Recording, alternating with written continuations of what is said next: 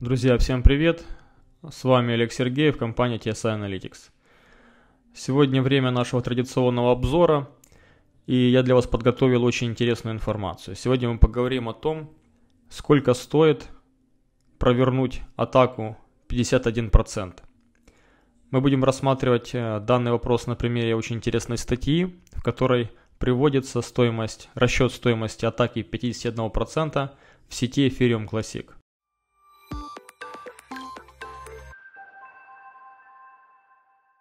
Сначала давайте вспомним, что такое атака 51%, возможно кто не знает. Атака 51% это состояние, когда более половины вычислительной мощности сети криптовалюты контролируется одним майнером или группой майнеров. Итак, да, что это дает, какие э, можно получить с этого выгоды. Переходим непосредственно к этой статье. Сразу скажу, ссылку в описании добавлю. Итак, обладая мощностью более чем 51%, майнер либо группа майнеров может. Первое. Предотвращать подтверждение тех или иных транзакций. Второе. Выполнять двойное расходование токенов. Третье. Проводить в том или ином виде DOS-атаки против определенных адресов. Это могут быть биржи, другие майнеры или пулы. Ну и соответственно все это в целом способно подорвать доверие к такой сети с очень высокой вероятностью вызвать значительное падение курса валюты. Ну и так, коллеги, сколько стоит такая атака? 51%. Существует классическая модель расчета, которая основана на стоимости приобретенного оборудования. Итак, переходим к формуле. Общий хешрейт сети разделить на эффективный хешрейт майнера. Мы по получим необходимое число юнитов майнинга. Потом число юнитов майнинга умножаем на стоимость юнита майнинга плюс стоимость электроэнергии. И получаем непосредственно стоимость атаки 51%.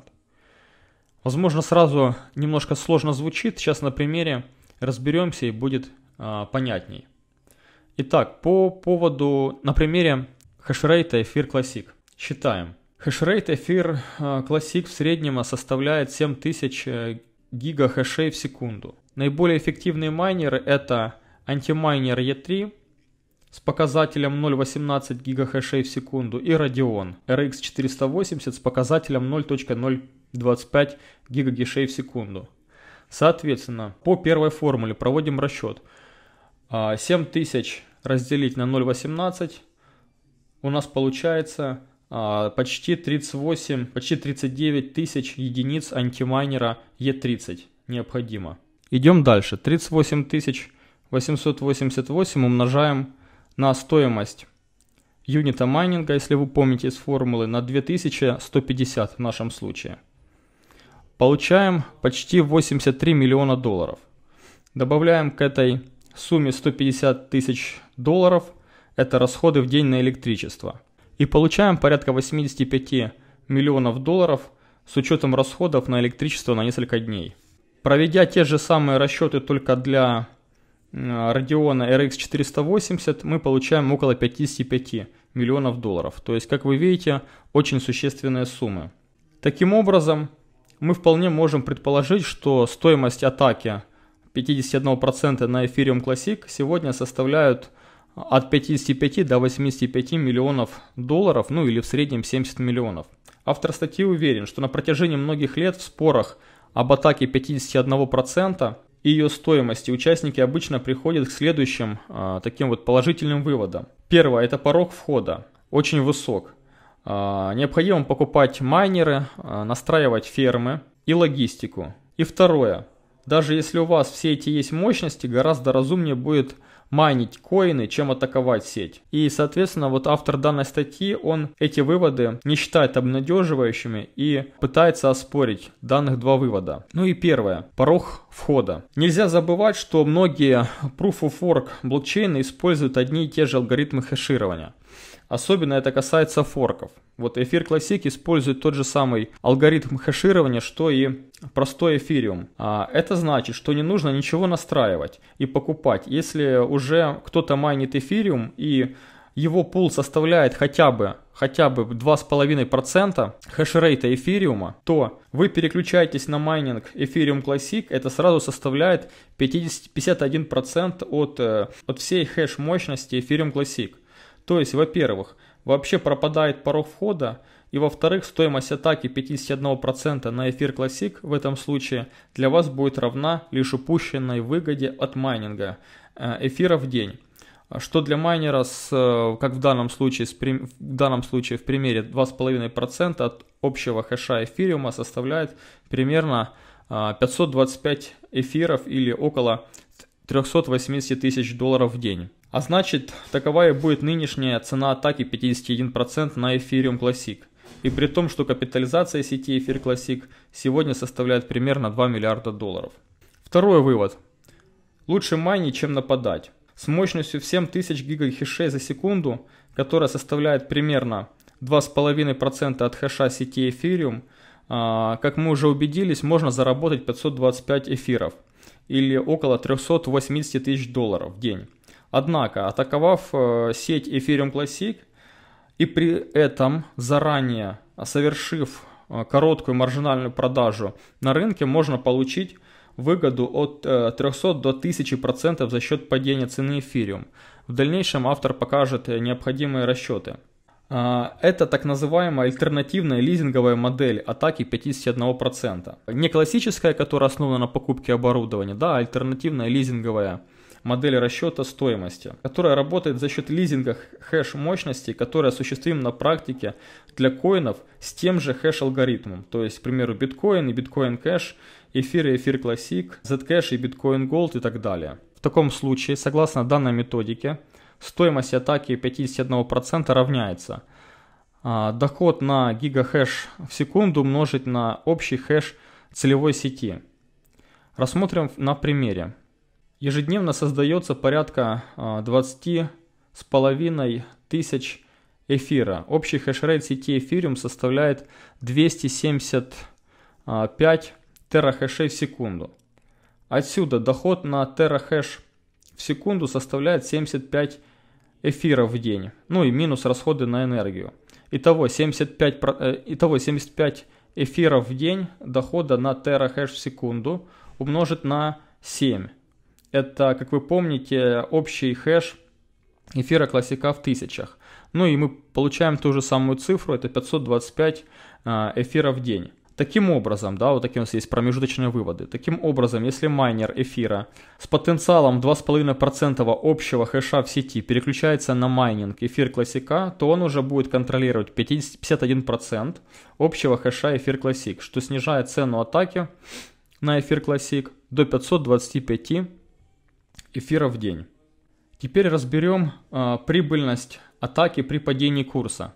Как мы обнаружили, традиционная методология расчета атаки 51%, э, исходя из стоимости приобретения майнингового оборудования, может совершенно не подходить для сетей, э, общий хешрейт которых значительно меньше, чем у других сетей с тем же алгоритмом хеширования – а, в таких случаях для выполнения подобной атаки хватит и незначительной части от вычисляемой по традиционной методологии стоимости.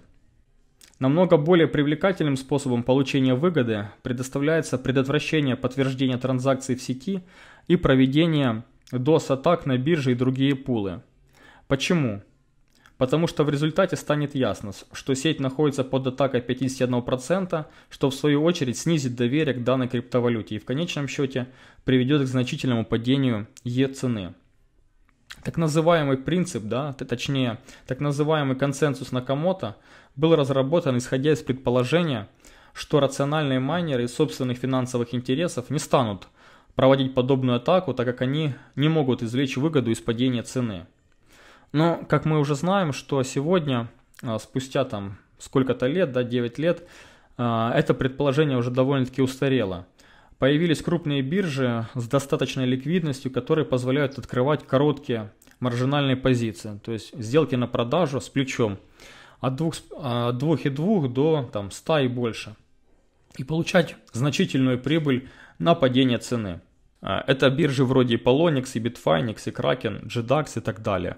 Тут у нас есть еще и плюс и фьючерсы, которые также можно продавать. Присутствуют CFD контракты на различных брокерах. То есть возможностей более чем достаточно. Сейчас мы рассмотрим такой вот реалистичный а, конкретный пример прибыльной атаки. Ниже приведен слайд, который представляет собой так называемую симуляцию. Тут указано а, по вертикальной шкале это процент доходности от падения цены актива. Ну а по горизонтальной шкале соответственно указан глубина падения. Кривые представляют собой разные плечи. Ну и соответственно умеренно консервативным вариантом могла бы быть продажа кредитным плечом от э, 5 до 8 при падении цены в диапазоне от 35 до 50% цены. Ну автор тут указывает о том, что не забывайте, что стоимость атаки, как мы уже вычисляли выше, составляет 525 эфиров или 380 а, тысяч долларов в день. Так что если вы еще не майнер, а просто инвестор и собираетесь арендовать майнинговый пул мощностью всем терахэш за секунду, а именно такая мощность необходима для того, чтобы контролировать 51% майнинга эфир Classic, его вам с радостью сдадут в аренду за любую сумму свыше, соответственно, этой суммы, 380 тысяч долларов. То есть больше, чем сами владельцы пула смогли бы заработать на своем оборудовании путем майнинга. Скажем, мы платим им 500 тысяч долларов, а всего в атаку инвестируем полтора миллиона долларов. А у нас в распоряжении еще остается 1 миллион долларов на то, чтобы открыть а, короткие позиции по эфир классику а, на любых биржах по своему усмотрению. Дальше автор пишет, что если относиться к этому как к серьезной возможности для инвестиций, то мы должны определить глубину, ликвидность рынка, то есть то, сколько рынок реально может выплатить. Средний торговый объем по эфир Classic сейчас находится на уровне 150 миллионов долларов в день. А, соответственно, мы можем а, принять это число на заметку при расчете ликвидности и попробовать произвести расчет для более масштабного вложения. В данном случае наша инвестиция будет составлять, к примеру, 55 миллионов долларов. Мы возьмем в аренду хэш мощности у майнингового пула на 10 дней, заплатив за это 5 миллионов.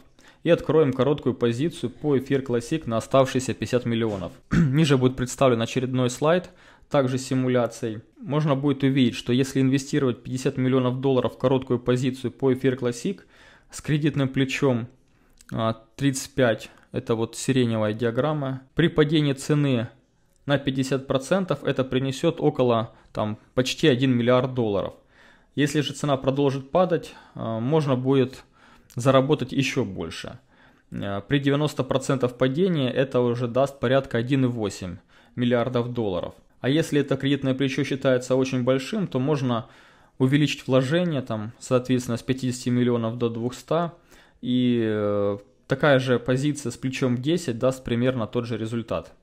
То есть вот такая вот симуляция, такие вот у нас доходности получаются. Ну а как э, насчет стоимости атак на другие коины? Ну, соответственно, биткоин кэш, самый такой вот яркий пример. Тут есть точно такая же логика. Можно понять, что Цена 51% э, хэш мощности сети Bitcoin Cash составляет не 300 миллионов долларов, а именно во столько бы обошлось бы приобретение необходимого майнингового оборудования, а всего лишь 250 биткоинов или 2 миллиона долларов в случае, там, согласно сегодняшнего курса в случае переключения майнинга с биткоин на Bitcoin Cash. Соответственно, в качестве примера, если майнер биткоина с 14% общего хэша переключается на майнинг Bitcoin Cash, то он получает 50, 51% общего хэша сети Bitcoin Cash, что снижает стоимость атаки до 250 биткоинов или, как мы говорили, 2 миллиона долларов в день. По Bitcoin Gold точно такой же расчет, только если учитывать э, его алгоритм, тут применяется, тут идет переключение с сети э, Zcash на Bitcoin Gold и идут соответствующие похожие вычисления. Ну и соответственно в заключение – Автор говорит о том, что он показал, а, как можно прибыльно атаковать криптовалютную сеть с капитализацией в 2 миллиарда долларов в примере, на примере Эфир Classic, имея всего полтора миллиона долларов, и как можно обанкротить ее, имея 55 миллионов и получить при этом очень существенный профит в размере 1 миллиарда прибыли. Надеюсь, данный расчет оказался полезным для вас в качестве примера и расширил как минимум ваш кругозор – а, для тех, кто интересуется криптовалютой и все, что с ней связано. Ну а мы двигаемся дальше.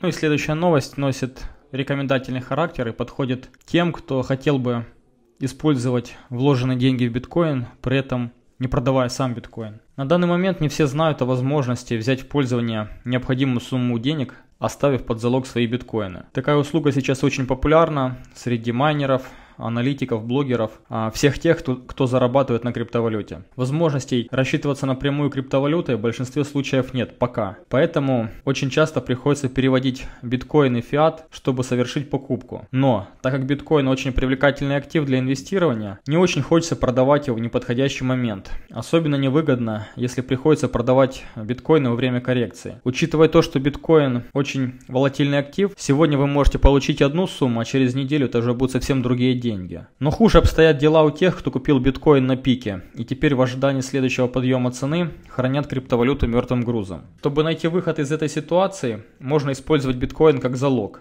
а не продавать его. Таким образом, у клиента есть возможность пользоваться деньгами, а биткоин будет храниться в это время на мультисиг адресе. Например, если кто-то хочет совершить крупную покупку, и для этого достаточно ваших накоплений в биткоинах. Таким образом, вы можете получить деньги на текущие потребности или заново их реинвестировать, не лишая себя прибыльной долгосрочной инвестиции. Кредитование фиатной валютой под залог криптовалют могут предложить сейчас только не банковские компании. В их число входит несколько китайских криптобирж, работающих на их местном рынке, крупная японская финансовая корпорация, которая с 1 июня запустила выдачу кредитов в иенах под обеспечение биткоина, а также несколько ICO проектов, которые предоставляют свои услуги только на австралийском и американском рын... американских рынках. Для русскоязычных пользователей услугу кредитования под залог биткоина предоставляет новый проект P2P биржа Biterest. Как работает, собственно говоря, данный проект? Платформа Biterest выступает своего рода посредником между кредитором и заемщиком и обеспечивает безопасную площадку для заключения сделок. Механизм кредитования простой и не требует много усилий. Вам нужно зарегистрироваться на сайте btrs.com. А, для этого понадобится всего лишь ваш e-mail. Оставить заявку и указать удобные для вас условия кредитования, то есть сумма, срок, процентная ставка и способ получения денег. Заложенные биткоины хранятся на мультисик адресе, для доступа к которому нужно два приватных ключа. При совершении сделки и заемщик, и кредитор создает приватные ключи. Еще один есть у BitRest. Когда срок договора подойдет к концу, биржа передаст свой ключ одной из сторон, в зависимости от соблюдения условий кредитования. Если возникнет спорная ситуация, сервис выступит в качестве арбитра и выдаст биткоины только после доказательства правоты одного из участников сделки. Таким образом, а, задача заемщика установить наиболее приятное для него условия кредита. После размещения заявки ее выберет пользователь, которому подойдут условия. Он отправляет вам напрямую деньги, а Bitrest обеспечивает выполнение операций и выступает своего рода гарантом сделок. Если вы не вернете деньги с учетом процентов, то доступ к залогу, то есть к вашим биткоинам, получит кредитор. Чтобы взять кредит, надо установить следующие условия. Сумму и валюту, срок, на который вы хотите взять деньги, есть возможность взять даже на один день. Процентную ставку, за год и способ получения денег. На данный момент доступны следующие способы. PayPal, WebMoney, Kiwi кошелек, Яндекс Деньги, перевод на карту и международный банковский перевод. Очень важный параметр – это дисконт от стоимости залога. Что это? А, дисконт, предоставляемый в качестве залога биткоин, оценивается дешевле рыночной стоимости. Если дисконт 30%, то полученная сумма денег будет равна 70% стоимости биткоина. Соответственно, чем выше дисконт, тем ниже риск закрытия сделки, сделки по margin call. Margin call наступает, когда залог по текущему курсу становится равен сумме, которую заемщик должен выплатить кредитору к окончанию срока. В этот момент сделка закроется, и задолженность кредитору будет погашена за счет залога. Следующий шаг. Необходимо создать приватный и публичный ключ для сделки или загрузить самостоятельно. Из вашего публичного ключа Далее будет создан мультисиг адрес для хранения залога. Следующий шаг – необходимо пополнить обеспечительный баланс, с которого за размещение каждой заявки списывается плата в размере полпроцента от суммы. Таким образом, вы подтверждаете наличие у себя биткоинов, необходимых для залога. Четвертое. Необходимо разместить заявку на платформе. Пятое. Получить подтверждение от кредитора. Шестое. Перевести биткоины в залог на мультисиг адрес. И седьмое, получить деньги от кредитора в течение суток. Когда кредитор отправит деньги, наступает кредитный период. На странице заявки начинается обратный отчет до окончания срока. Вся необходимая информация по кредиту доступна на странице заявки с разделом «Финансы». Клиент может размещать и принимать неограниченное количество заявок. Какие данные важны во время кредита? В первую очередь, это мультисик адрес, на котором находятся биткоины. Их наличие можно проверить по ссылке на блокчейн-инфо. Реквизиты суммы, которую требуется вернуть кредитору и сколько осталось времени до окончания срока. Текущую стоимость залога по курсу биткоина, стоимость залога при margin call. Ну и следующие рекомендации от разработчиков данного сервиса. Рекомендация следующая. Дисконт рекомендуют выставлять не менее 30%, а во время коррекции лучше даже и 50%. Если текущая стоимость сравняется со стоимостью margin call, наступает закрытие сделки. Но Клиент всегда может погасить кредит досрочно, чтобы избежать вынужденного погашения кредита за счет залога. Соответственно, используя BitRest, клиентам больше не надо продавать биткоины. Можно будет взять кредит под залог, взять деньги в пользование и продолжать холдить свой биткоин, таким образом совершая долгосрочные инвестиции. По моему мнению, очень такой интересный сервис. Кому понравилось, ссылка будет в описании. На этом у меня все. Спасибо за внимание. Встретимся в следующих обзорах.